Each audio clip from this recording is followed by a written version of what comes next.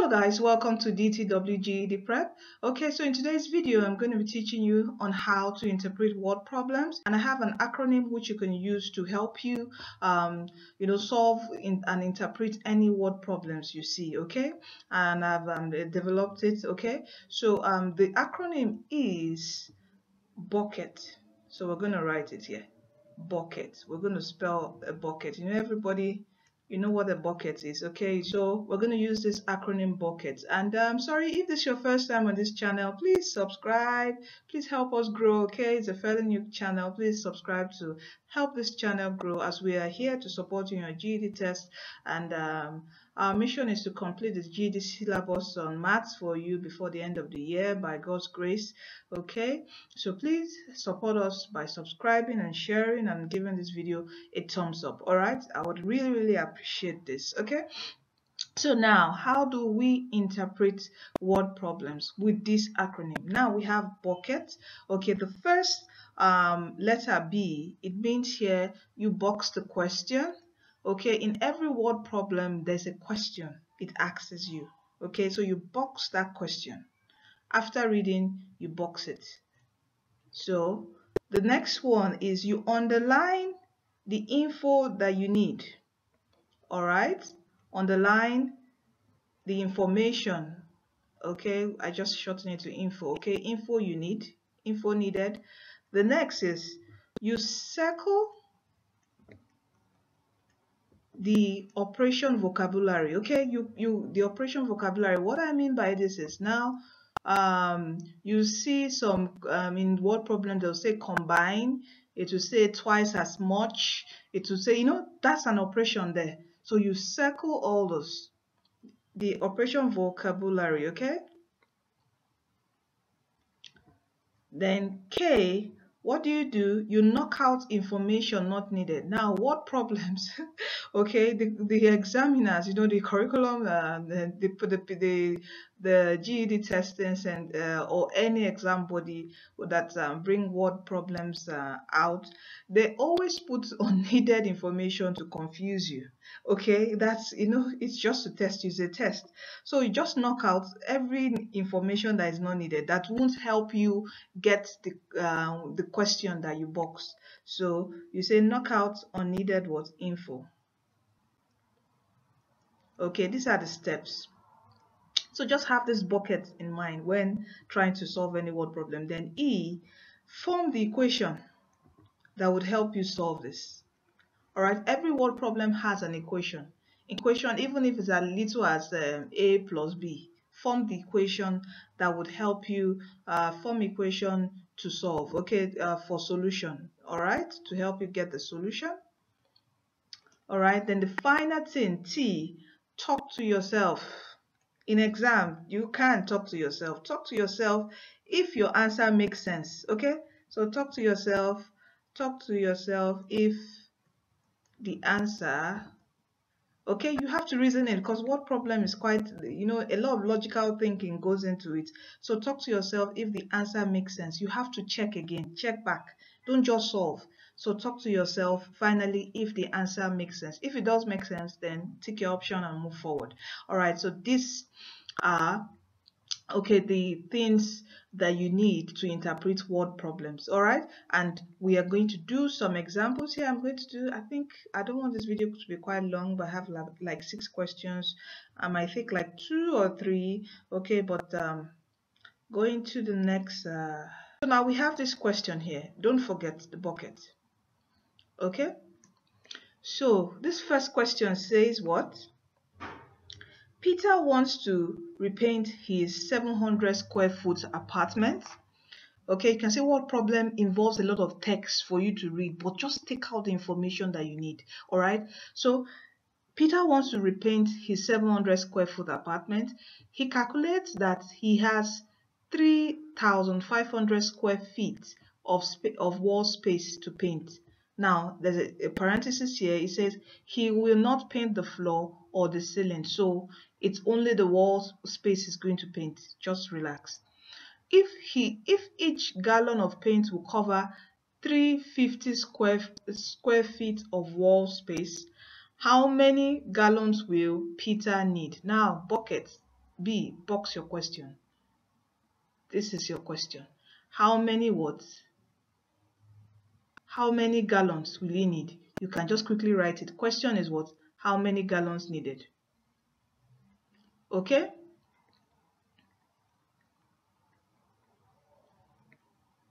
That's our question. That's what we're looking for. How many gallons he will need. Now, the next thing is what? On the line are what? Needed info. So what needed info are we going to use to get the number of gallons, gallons he's going to need to paint the wall space? We are going to need this. It says if each gallon paint will cover 3 watts, 350 watts square feet. So underline this. We're going to need this. So one gallon. So you write here one gallon. We need what 350. We do we do what a one gallon of the paint will do what 350 of what square feet of the wall space. Okay. Of of wall space. All right. What next information do we need? Now it says he calculates that he has 300 square feet of wall space towards paint. All right.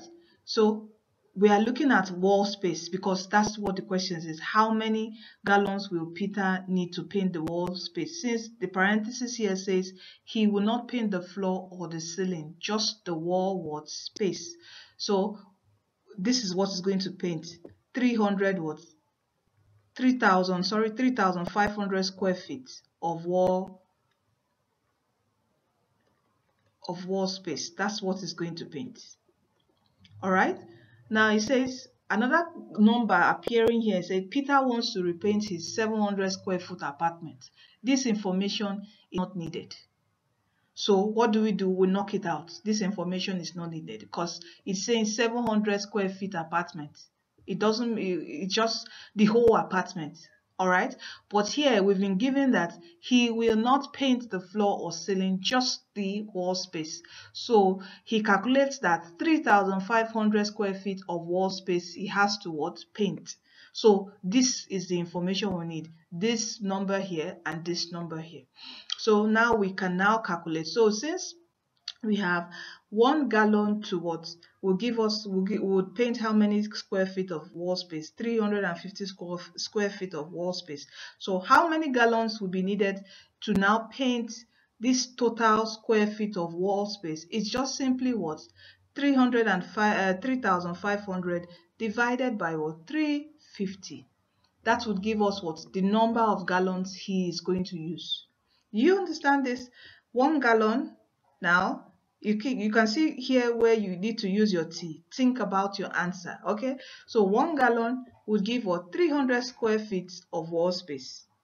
Now he needs to paint how many square feet of wall space? 350. How many gallons will he use?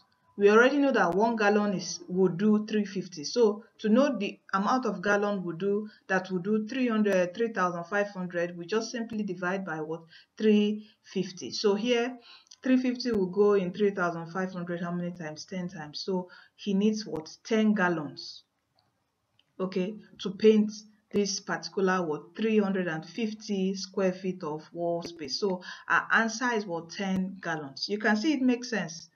Don't you get it? It makes perfect what sense. So not the mistake people would make is to use 700 square feet uh, would divide 700 by what? 350 okay and this will give you 2 and the answer is here. Okay the option is here. All right but this is wrong. The right option here is what 10 because the question focuses on what? Wall space which is the needed what? Information. Okay since it says in this parenthesis not he will not paint the floor or the ceiling. All right now the next question here the next question here says for a family get-together, Darren wants to be sure that each child gets two party favors. Okay? The party favors cost $3 each and there are 11 children coming. How many party favors will Darren need? That's the question now. How many party favors would Darren would need? So we box our question. So we're looking for the number, the quantity of party favors he's going to need. For how many people? Now you ask again, how many people? It says what there are what 11 children what coming. Okay, we are underlining now the needed what uh the needed what um the needed information. Okay, so there are what 11 children coming. Now it says the party favor costs three three dollars each. We don't need to know the total. We're not the question didn't is not asking us for the cost. It's asking us for how many party favors, the number of units of party favors he needs. Okay, so it means you see this this number here now. It, it, we have to know what knock it out. We don't need it okay this is a, a this will confuse you. If you start adding it up to your equation we don't need this number. We are looking for we're looking for um, information that would help us get what? Our question which we've boxed. Okay? So it says Dar Darren wants to be sure that each child gets what? Two party favors. Okay? So we need this info all right? So and there are how many children coming? 11 children coming. So how many party favors would Darren Darren need? Simply is just 2 times 11 and that is what? 22 party favors. That's what Darren would with what uh, need. Okay? So this is the answer. 22 party favors. Okay? So our right option here is option D. You can see this. All right? So you apply the bucket rule box your question underline your needed information and for C which is what circle equation you know um I mean circle your uh, the vocabulary in the question. Now that uh, is for ad more advanced word problems which i'm going to do very soon which involves a lot of equation okay? This is just simple word problems which involves your division multiplication. We are still under number sense all right so but when we get to equations you see a lot of um, uh, another advanced word problems where we'll solve uh, you know uh, twice as much uh, um, if you com if you combine this multiply this you know do much. And I'm, I'm also going to do several examples again. All right? So you can see that you have to now and you knock out k is to knock out what? The knockout the, the information that is not needed. E is to form your equation which is this and this and solve them. And t is to what? Ask yourself again is your answer making sense? And yes, it is making sense because our question says what? To know if your answer is making sense, to go back to your question, which says how many party favors will Darren need? And not, the question didn't ask us how much. Okay, how much, uh, how much, uh, how much is it going to need to get the party favor? It says how many? all right which is simply 2 times 11 since 11 children um, is coming to the party and he wants them to get two party favors each. So it's simply what 2 times 11 which is what 22 party favors and this our answer. Okay this is much i can take um, questions from this. I don't want this video to be quite long. Okay i might do a part two with more um, word problems. All right? So thank you for staying tuned and don't forget that jesus christ is coming soon give your life to Christ for he is the way he is the truth and he is the life. And I do I think I I didn't say in the beginning there's a WhatsApp group and Facebook group that you can join for free online Zoom math classes every Wednesday by 9 a.m. US Central Time. All right thank you. From DTW Tutorials you are destined to win in Christ. Thank you and see you in our next video